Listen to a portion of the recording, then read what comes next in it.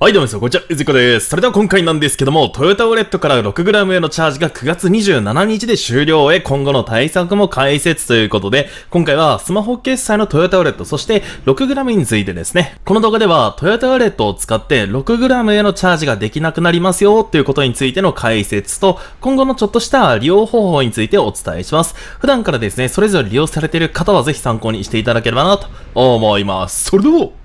行ってみましょう。ちょっとですね、今撮影中に台風が通ってる途中なので、若干雑音が入るかもしれないので、そこだけご了承ください。それではですね、今回の本題なんですけども、お題でもある今回のこちらのトヨタウォレットなんですが、このトヨタウォレットを使って、それと合わせてこちらミクシィが提供するスマホ決済の 6gram ですね。今回はこちらがですね、まあ、かなり今日話題になっておりました。で、そもそもですね、結局この組み合わせの何がすごかったのかっていうのを事前に解説した上で、タイトルの内容に入っていくわけなんですですけども、もともとですね、ビザマスターのクレジットカードを使って、例えば、ビザプリペイドの Kyash カードっていうのがあると思うんですけども、これにリンクをさせた場合、1%還元をクレジットカードのポイント還元を受けることができます。で、そこからさらに、この Kyash カードを使って、タイトルにもあるこのトヨタウォレットを連携させた場合、 Kyash カードの0.2%分の還元を受けることができます。まあ、これ月に5万円まで、上限100ポイントまでなんですけども、一応この時点でも1.2%還元を受けることができます。で、さらに、そこからですね、ミクシィが提供するスマホ決済の 6gram。これと合わせることによって、今現在開催中のトヨタレットの1.5%分のキャッシュバックのキャンペーン、これも受けることができるんですよね。なので、これらを合わせると、実質の還元率っていうのが2.7%還元っていうのが可能だったんですよね。で、さらに使い方によって色々あるんですけども、まあ、ついね、数ヶ月前ぐらいに 6g のリアルカードのサービスが始まってですね、今は確かリアルカードの発行が停止してるんですけども、そのリアルカードのブランドがビザブランドなんですよですよね。なので、スマホ決済の PayPay とリンクすることができます。まだ 6g には 3D セキュアがないので、5000円までしか使うことはできないんですけども、こんな風に使うことによって還元率を上げた状態で PayPay で決済することができるっていう感じなんで、すごいね、使い勝手は良かったんですよね。だったんですけども、今回はこちらのトヨタウォレットを使って 6g へチャージするというのが利用停止ということが発表されました。それが今回の9月の27日からということでございます。まあ、その証拠として公式ページを見ていただきたいんですけども、こちらこれトヨタウォレットのページなんですが、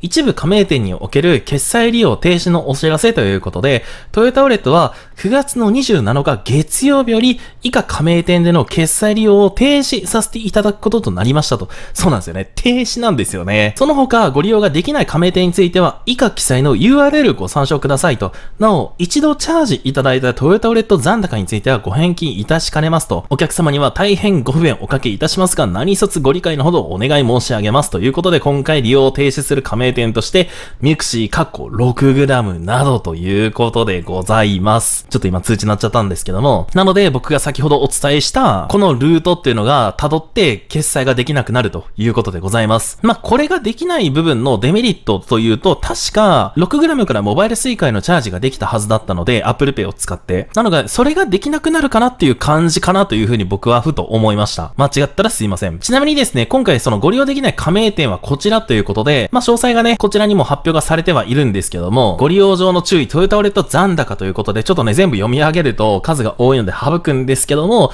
トヨタウォレットを使って、例えばこれですね、各種プリペイド電子マネーの購入、チャージ代金の支払いということで、弊社発行のプリペイドカード、なので三井住友カードとかのプリペイドカードですね。他にも nanacoクレジットチャージ、楽天エディ V プリカ、ポイントウォレットビザプリペイド、ポレットビザプリペイド、キーゴ、ウェブマネー auPay、レボリュートなどということで、なのでトヨタウォレットを使ってこれらにチャージすることっていうのがまあできないと。まあおそらくこれはね、もともと決まってたものだと思うんですですけども、他にもね、新幹線のチケットとか、あと月額サービスとか、まあそういったものもね、基本的にはできないということになりますね。先ほどお伝えしたページにもあったように、チャージ後の返金はできませんということでございますので、もしね、チャージされる方はもうそれを分かった上でね、チャージしておくのもいいと思うんですけども、もうそれそれをするのもまあ自己責任でございますので、それを分かった上で行ってください。でですね、まあ今回の内容を踏まえて、まあ今後の対策はということで、もうこれはね、正直なところ、もうこれしかないかなと思うんですけども、もう極力還元率の高いクレジットカードを利用するということですね。まあ、クレジットカードに限らず、まあ、プリペイドカードを使ってもいいと思いますし、まあ、この方法であれば、まあ、今はね、まあ、先ほどお伝えしたルートを使えば実質2.7%還元というのが、まあ、実現可能ということだったんですけども、もう早い話、1枚のクレジットカードで済ませるのが、なんちゃかんちゃね、早かったりするんですよね。まあ、そんな中でも、僕のチャンネルでもね、ちょくちょく紹介させていただいているクレジットカード、パパッと3つ紹介したいと思うんですけども、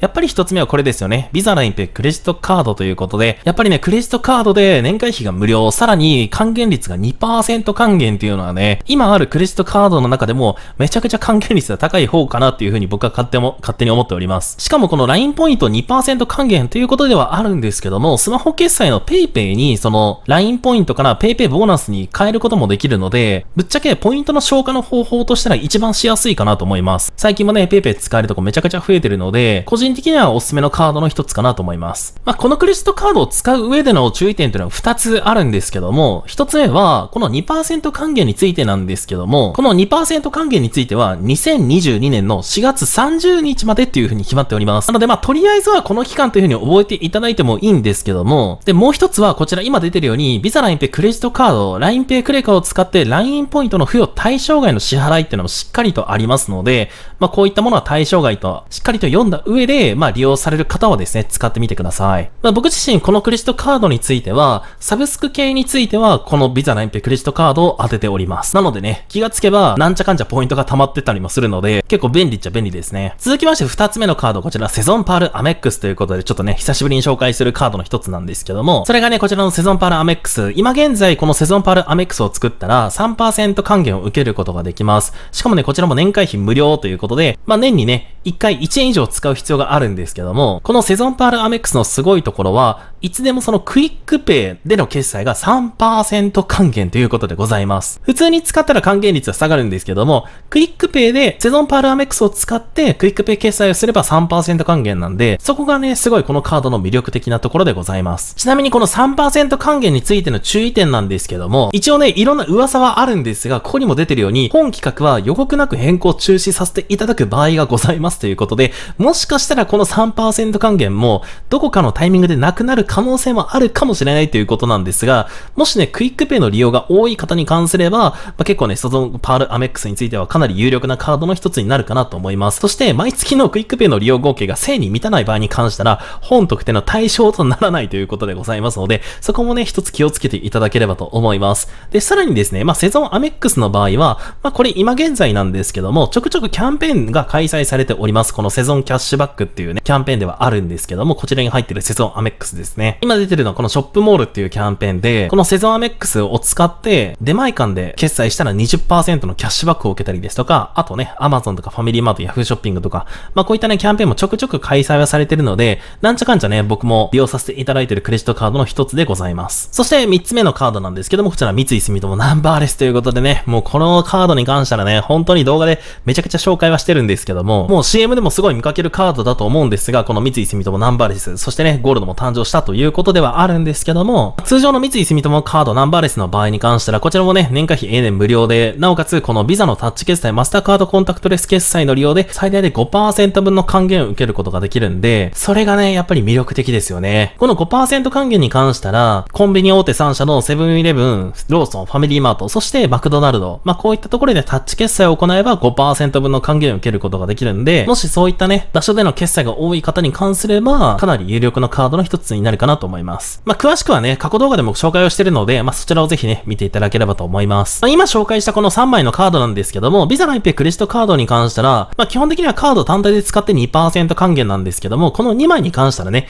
クイックペイで3%還元、タッチ決済で5%還元なんで、若干ちょっと普通の使い方と違うところではあるんですが、まあうまく使うことができれば高い還元率でポイントをゲットすることができます。で、もしこの3枚作る場合はね、もうこちらも口酸っぱくお伝えしてるんですけども、もうポイントサイト経由を忘れずね、作っていただければと思うんですけども、もし今の3枚のカードを作る場合に関したら、こちらのね、どこ得っていうポイントサイト、今どこがリアルタイムでお得なのかって探すサイトなんですけども、例えば、こちらのビザ LINE っていう風に入れて検索をかけると、ビザ LINE ペイクレジットカード、今現在どこのポイントサイトを経由して作ればお得なのかっていうのが高い順で出てきます。僕が使ってるね、ポイントサイトであれば今 EC ナビ、こちらがね、4200円。すごいですよね。ビザ、LINEPay、クレジットカードを使って、4200円のね、ポイントをゲットすることができます。ちなみにこの4200円っていうのは、もちろん現金にもできますし、他のポイントに交換することもできます。他にもセゾンパールと入れて検索をかけると、セゾンパールアメックス案件復活してますね。ちょっと上から順に見るとあまり使ってるポイントサイトないんですけども、僕が使ってるところであればこちらのライフメディアであったりとか、チョビリッチ。まあ、こういったところが、今現在セゾンパールアメックスを作ると3000分のね、ポイントをゲットすることができます。あ、EC ナビもありますね。あと、ハピタスもあるんで、ハピタスのね、ゴールド修行されたい方は、ハピタスも結構ありかなと思います。そしてもう一つね、紹介したナンバーレスのカードなんですけども、ナンバーレスはね、ゴールドカードもあるので、そことね、ごっちゃになる可能性もあるんですけども、今現在通常のナンバーレスを作る場合に関したら、ポイントサイト笑うとか、ライフメディア、まあ、ここら辺が3800円ですね。まあ、当初よりかはね、下がってはいるんですけども、もし持ってない方はね、絶対これはポイントサイト経由した方がお得だと思いますね。ではですね、今日お伝えしたことを簡単にまとめさせていただくと、まずはトヨタウォレットから 6g へのチャージが9月27で利用停止ということでございますので、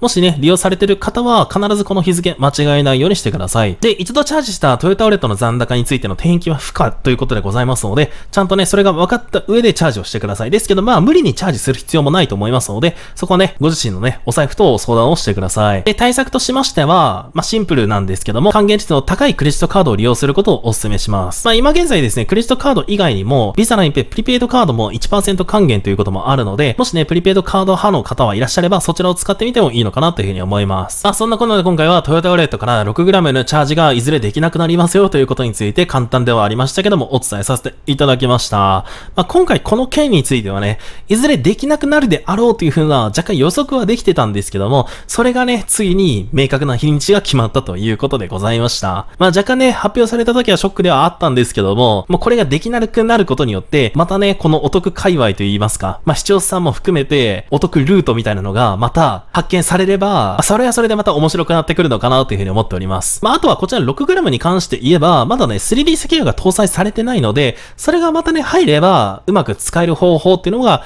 また出てくるんじゃないかなというふうに思っております。まあ、ちょっとわかんないんですけどね、早く出てきてほしいです、3D 石油。まあ、ぜひですね、今回の発表について思うことがあればですね、コメント欄書いていただければと思います。で、さらにですね、今回動画内で紹介したポイントサイトの登録まだの方いらっしゃいましたら、こちらも概要欄に登録リンク貼っておきますんで、詳細気になる方いらっしゃればチェックしていただければなと思います。ということで、本日の動画は以上ですご視聴どうもありがとうございました